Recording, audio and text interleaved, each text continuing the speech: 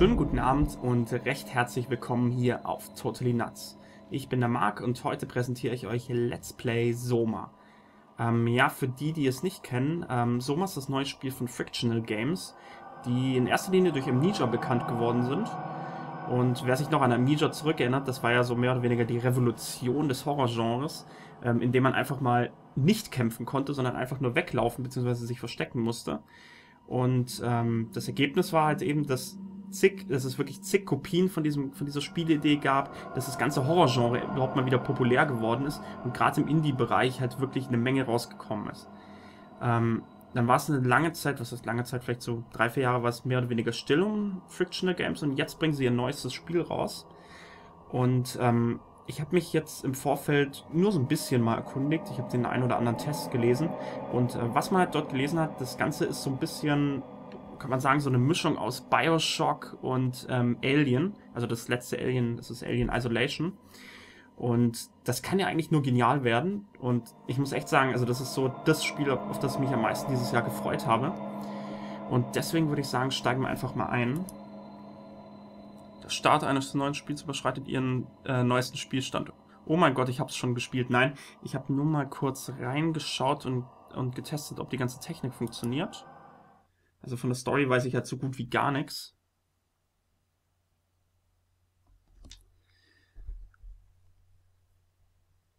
Ja, der Ladeschirm erinnert mich so an ähm, The Evil Within. Da, da gab es ja auch immer so, dass man das Hirn, warum auch immer, die ganze Zeit in den Ladesequenzen hatte. Realität ist das, was nicht verschwindet, wenn man aufhört, daran zu glauben. Philip K. Dick. Es kann jetzt schon nur gut sein, wenn Philip K. Dick drin vorkommt. I think you're bleeding. Oh, that, that's nothing. It's just my brain can't stop bleeding from the accident. Here, take this. No, that that's for later, for the scan. It's green. Ashley, I need to tell you something. Simon, please don't make this weird. No, no, it's not like that. Why now? Who's David Munchie? Why is there never enough time? For what?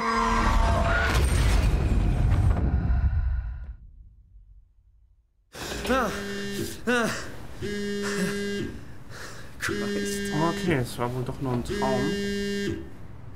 Okay, das muss man sagen, also das ist so optisch jetzt nicht das, was ich erwartet hätte, direkt zu Beginn.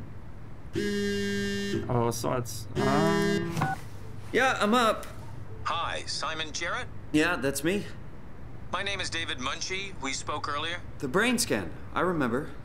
Are you all right? Yeah, yeah, just a bad dream. Are, are, we still on for today? Yeah, that's why I'm calling. I wanted to remind you to drink the tracer fluid I sent you. It'll help me capture a better image of the damages. Don't worry, I, I got it somewhere. Okay, great. Well, I'll see you in a couple of hours then. Okay, see you soon. Okay, äh, was ich soweit gehört hatte vom Spiel, ähm, ist, dass es mehr oder weniger in der Zukunft spielt. Ich frage mich jetzt nur, wie weit in der Zukunft, weil Smartphones, das ist ja jetzt eher up-to-date als äh, wirklich in der Zukunft. Und das Zimmer hier schaut eigentlich auch nicht so mega modern aus. Okay. Aber auf jeden Fall, was ich äh, eben schon sagen wollte, wenn so ein Spiel mit Philip K. Dick anfängt, dann kann es nur gut sein. Hooked von Robin McConnell. Äh, Mark und Diana Miller haben endlich eine Ze äh, Zeit für eine Pause. Sie haben genug Geld gespart, um sich den lang ersehnten Familienurlaub auf Hawaii zu gönnen. Doch während der Sonne am ersten Abend vor Waikiki Beach im Meer versinkt, verwandelt sich Marks und Dianas Paradies in einen Albtraum, als sich vor ihren Augen plötzlich Schwimmer in tausenden dünn dünnen Ranken verfangen, die ihren Ursprung unterhalb der Wellen haben. Die schreienden Schwimmer werden langsam ins dunkle Wasser gezogen. Als der siebenjährige Sohn Charlie, der verzweifelt versucht, sich in Sicherheit zu bringen, äh, auch, äh, genau, auch ihr siebenjähriger Sohn wird von den bösartigen Ranken gefangen. Spannend, mystisch und absolut furchterregend. Am Haken wird auch sie einholen. Äh, klingt gar nicht mal so interessant. Come on, radioactive tracer fluid, das where are you? Aber trotzdem eigentlich schon ganz cool aus. Und ja, hier sieht man so ein Feature. Das war schon in Amnesia so, dass man mehr oder weniger alles in die Hand nehmen konnte. Hey Simon, it's Jesse. You working this weekend or what? I knew there was something you were doing? Was it this weekend or next? Anywho, just shoot me a mail or something. Love you, miss you, mean it. Of messages. I swear, Okay. that guy has the memory of a goldfish. I even sent an email to remind him, didn't I? Äh, genau, was wollte ich sagen? Philip K. Dick ist, ähm, wer ihn kennt, beziehungsweise ähm, wer schon mal seine Bücher gelesen hat, er ist mehr oder weniger der Guru des, äh, des Science Fictions. Kann ich damit irgendwas machen? Nö. Ähm, also zum Beispiel, wer den Film Total Recall kennt, oder, ähm, jetzt lass mich mal überlegen, was ist noch von ihm. Also Total Recall würde mir spontan einfallen, ist eine Geschichte, die auf, äh, sozusagen auf seinen Mist gewachsen ist. Ich glaube, ohne mich jetzt 100% zu erinnern, das, das Original, also da, da lege ich mich jetzt nicht fest, aber das Originaldrehbuch von Blade Runner stammt auch von ihm. Mapping Minds, Albert Isaacson.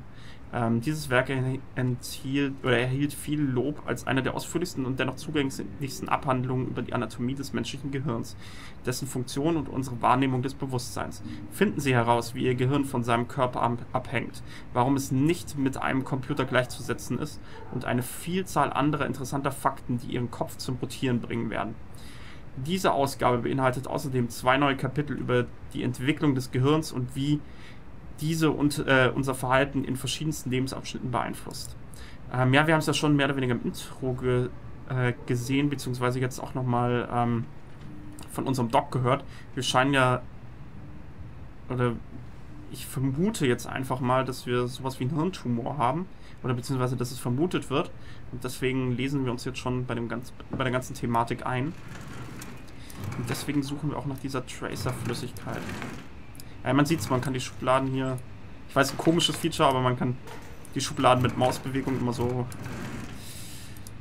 auf- und abziehen. Äh, was haben wir hier? Cinema Variety, das ultimative Filmmagazin, Summer Blockbuster, Japanimation, größer als je zuvor, Stunts vs. CGI.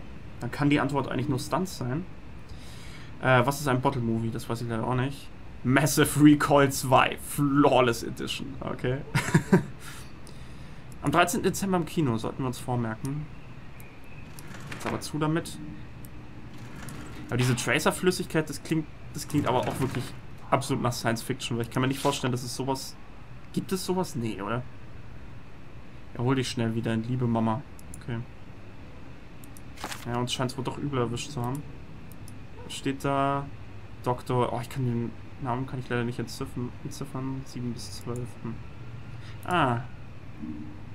Ah, Neurograph-Sitzung von äh, David Munchie. Ah, das, genau, das scheint unser Doktor zu sein. Ich wollte Ihnen abermals für Ihre Teilnahme an unserem Forschungsprojekt danken. Der Scan wird in den Pace Laboratories in Toronto durchgeführt werden. Aber da wir selbst Gäste sind, ist unser Zugang ein bisschen unvorhersehbar.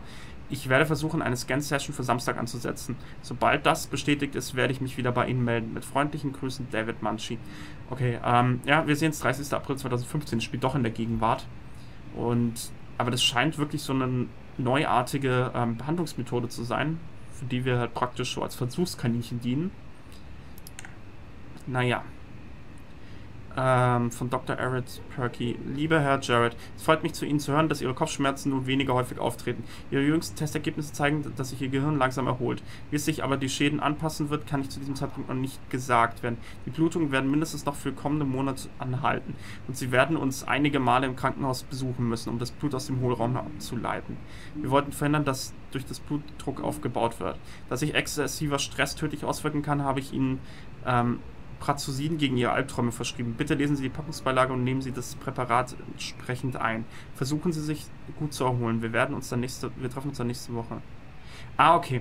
Wahrscheinlich haben wir doch keinen Tumor, weil wir haben ja den Intro, wir haben ja den Intro jetzt alle gesehen, aber ich hatte halt angenommen, dass es nur so ein, so ein Traum, also dass es halt wirklich nur so ein Traum ist, wo er sich äh, praktisch irgendwas einbildet, was überhaupt nicht der Realität entspricht, aber scheinbar ist es wohl wirklich so gewesen, dass wir so eine Art Unfall hatten und äh, sich praktisch Blut in unserem Gehirn angesammelt hat.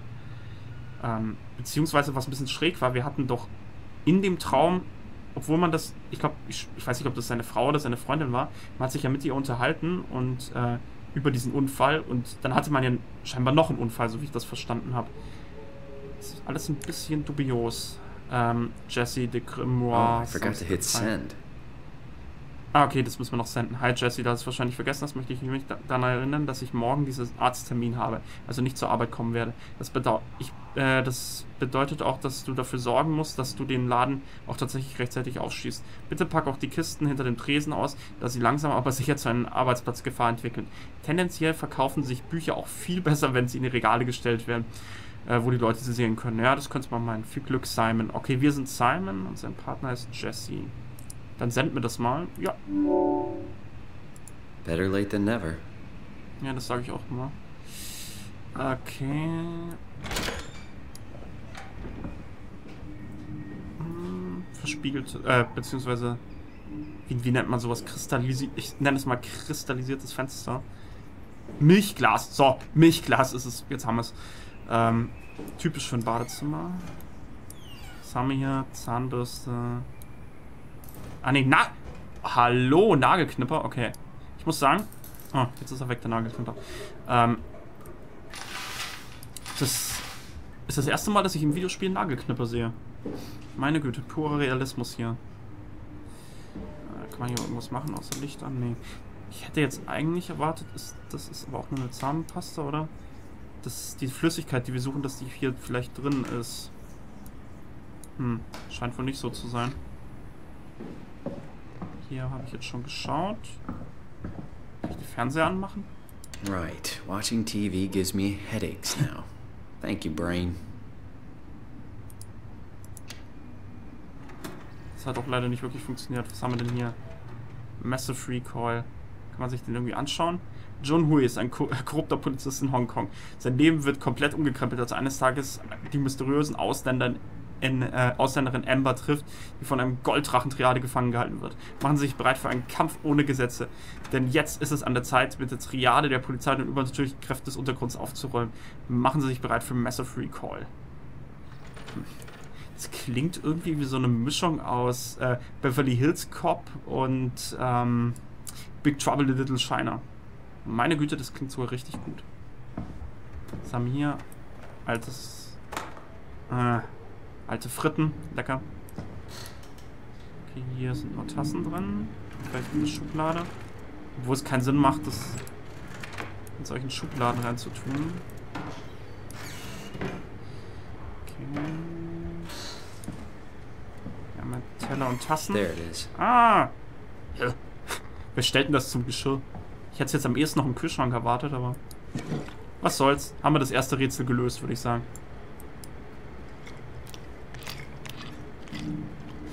Das, kam nämlich auch noch dazu. Ich habe, ähm, was ich gelesen habe, die Rätsel sollen teilweise like schon. milk, but the taste. It's like sucking on a penny. Ich habe das noch nie gemacht an einem Penny gelutscht, deswegen kann ich das nicht sagen. Ähm, aber ich habe ja schon gehört, dass die Rätsel in dem Spiel einigermaßen kompliziert sind. Nothing but fast food. Should buy something healthier on my way home. Ja, würde ich dir echt empfehlen. Ähm, also, dass sie einigermaßen tricky sind. Aber das erste Rätsel, wenn das dann ein Rätsel war, haben wir schon ordentlich bestanden. Remind Jesse, Pick up Mats, äh, Flowers for Funeral. Oh je. Das habe ich nämlich auch vermutet, ähm, dass seine... Was haben wir denn hier? To Simon Jarrett. Kann man das irgendwie aufmachen? Nö. Kann ich das nicht aufmachen, sag mal. Das ist wahrscheinlich nur Rechnung, die will er gar nicht aufmachen.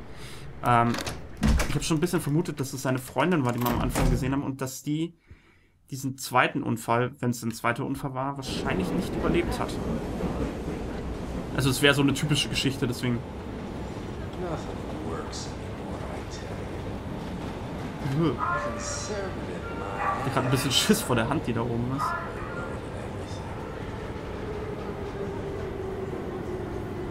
Ich frag mich. Oh, wir haben schon wieder angerufen. Ach, da ist ja der gute Jesse. Ich finde es aber cool, man kann sich hier sogar entscheiden, aber ich denke mal, ich werde rangehen. Jesse, Hey, Simon. I got your email. Just wanted to wish you good luck and let you know I got you covered. thanks. I should be able to come to the store after the scan. Don't sweat it. I got Matt and Chris help me out. Maddie from SNL? Uh, guess you didn't hear? He's coming in full time, working the comic section. That's Ashley's job. Yeah, well, you know. Forget it. Not doing her any favors by leaving an empty spot. Not like she's coming back. Well, good luck. Hope they find a way to reverse the whole, you know, dying thing. Dying thing? You're the worst support ever. what should I say? I'll see you later, Jesse. Don't burn the place down while I'm gone. Over and out, buddy. Hui, okay. Jetzt haben wir auch einen Namen für seine Freundin. Wenn es denn seine Freundin ist, das wissen wir ja noch nicht. Ähm, Ashley. Die gute Ashley scheint auch mit uns zusammengearbeitet zu haben. Ob das etwas zu tun haben wird mit der Story? Ich gehe mal stark davon aus.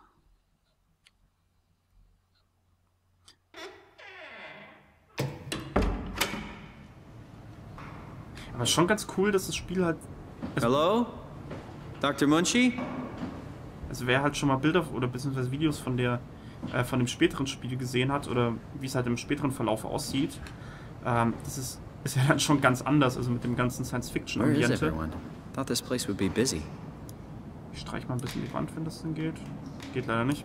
Ähm, ich finde das schon, find das schon ganz interessant, dass das Spiel halt so vom Stil komplett anders anfängt. Einfach mal so typische, ich möcht- möchte jetzt nicht sagen idyllische Welt, weil wir bluten aus dem Hirn, aber sag ich mal normale Welt. Ich glaube, ich mache die Vorhänge lieber zu, weil das schaut nämlich nicht sehr schön aus. Jetzt bilden wir uns ein, wir haben das nicht gesehen und reden uns einfach ein, die Grafik schaut sehr schön aus. Was haben wir denn? Na, warte, ich schaue vielleicht erstmal auf den PC. Ähm, Paul, wo bist du? Wir haben noch ein paar Stunden. Ich habe Simon Jarrett erwischt. Lass es uns das durchziehen. Ich habe dein Notebook an der Rezeption gesehen. Bist du schon hier? Von wem kam das? Ach, von David Munchi, okay. Ähm, und zweite, hi Paul. Ich habe mit Pace über die Laborzeit dieser Woche gesprochen. Ich konnte den Scanner für morgen früh noch einmal für Freitag buchen. Ich weiß, das macht zwar nicht viel her, aber sie haben gesagt, dass, die leerstehende, dass der leerstehende Rezeptionsbereich als eine Art Büro benutzen können. Dadurch können wir an ihren Computern Simulationen laufen lassen. Außerdem können wir schnell ins Labor gehen und den Scanner benutzen, wenn sich plötzlich ein Zeitfenster im Benutzungsplan auftut. Ich dachte, wir könnten morgen ein paar Tests laufen lassen. Wir könnten uns gegenseitig scannen und die Ausrüstung kennenzulernen. Angeblich soll es reich, äh, recht einfach sein. Hoffentlich wird der Dr. Aaron Peak am Freitag jemanden rüberschicken. Einer der Patienten hat kürzlich einen Autounfall. Klingt interessant. Okay, das, das sind wohl wir, das Versuchskaninchen. Und hier, wir sind eingesperrt. Im Laborbelegungsplan gab es heute ein äh, freies Zeitfenster. Leider hat uns niemand über eine Änderung des Zugangscodes informiert. Ich rief deswegen den Sicherheitsdienst an und brachte Professor Ray dazu, unser Pro äh, für unser Projekt zu bürgen. Dann bekam ich endlich einen Oberboss der Rechtsabteilung von Pace an den Hörer, der unsere Labornutzungsberechtigung erneuern konnte. Den Code darf ich nicht in E-Mail-Textmeldung weiterleiten, werde ihn aber über eine Notiz oder so etwas hinterlassen, falls wir ihn vergessen. Paul. Hm. Notizbuch, vielleicht ist es das. Tweak for White Length, Moment Definition, Page 56. Was haben wir da? Ah, da steht doch was, 2501. Mal schauen, ob wir den für irgendwas brauchen. Was haben wir denn hier? Trial and Error. Okay, weg mit dem Versuche weg, weg mit dem Skalpell. Das Gehirn kann sich selbst heilen. Das Gehirn verfügt über verblüffende transformative Fähigkeiten, eine Formbarkeit, die ihm als Kompensation oder sogar die Heilung von Verletzungen ermöglicht. Diese Worte stammen von Paul Berg, einem Doktorand der Neurowissenschaft der York Universität von Toronto. Diese Fähigkeiten sind es, die Berg und seine Kollegen David Munchie, seines Zeichens Student der Computerwissenschaften, anzuregen hoffen. Es geht darum, dem Gehirn beizubringen, das Richtige zu tun. Wir hoffen dies mit einfachen Komponenten wie Übungen, Therapie und leichten Medikamenten zu erreichen. Manche Berg suchen äh, dabei aber nicht nach einem Wundermittel, sondern nach der optimalen Behandlung für jeden einzelnen Patienten. Sie beginnen mit der Aufzeichnung von etwas, das man Nakajima-Neurograph nennt. Es ist wie ein richtungsweisendes Bild, sagt Manchi. Aber anstatt eines statischen Gehirnscans kann uns äh, der Neurograph sagen, in welche Richtung unser Gehirn unterwegs ist. Okay.